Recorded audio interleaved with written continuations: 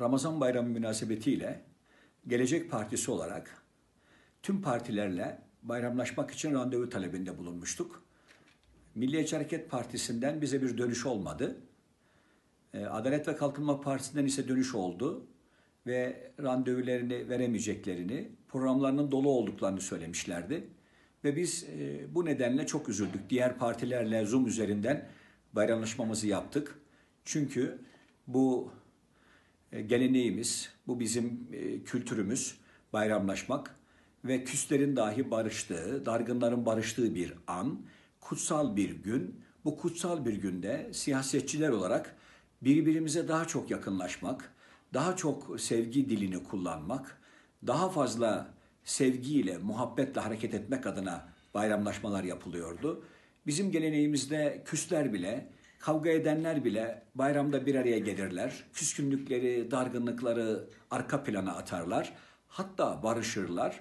Ee, Gelecek Partisi olarak bizler de Milliyetçi Hareket Partisi Genel Merkezi'ne ve Adalet ve Kalkınma Partisi'nin genel merkezine etrafı zeytin ağaçlarıyla, zeytin yapraklarıyla dolu.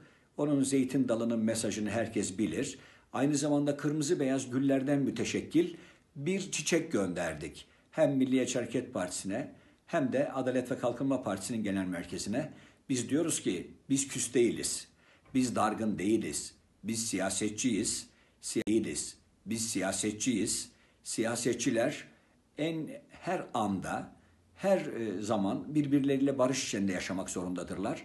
Çünkü millete sunacağımız huzur, millete sunacağımız güvenlik, millete sunacağımız özgürlük, millete sunacağımız zenginlik biz birbirimizle yarışıyoruz sadece. Düşman değiliz. Partileri dost ve düşman diyerek kategorize etmek doğru değil. Düne kadar Adalet ve Kalkınma Partisi HDP ile bayramlaşıyordu. Ama bu bayramda nedense onlarla da bayramlaşmadılar. Dün dündür, bugün bugündür mantığı doğru değil ve de siyasette istikrarsız davranışlar da doğru değil. Dün Milliyetçi Hareket Partisi ile Adalet ve Kalkınma Partisi'nin liderleri birbirlerine en ağır ifadelerle ithamlarda bulunuyorlardı ama bugün birlikte yürüyorlar. O nedenle mahcup olacağımız sözleri, mahcup olacağımız davranışları e, ortaya koymamalıyız. E, bayram münasebetiyle bunu gönderdik. Kabul buyursunlar ve Türkiye'deki 83 milyon kardeştir. Herkesin Ramazan bayramını kutluyoruz.